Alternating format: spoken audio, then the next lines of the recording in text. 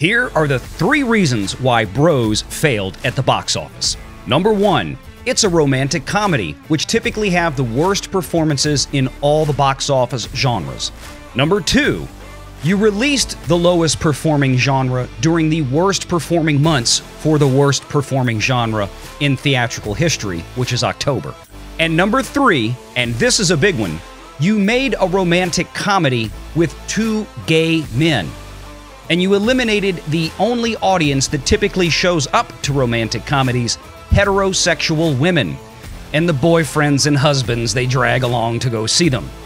At Valiant Renegade, we put Hollywood through the business and financial lens of reality, and the math always wins.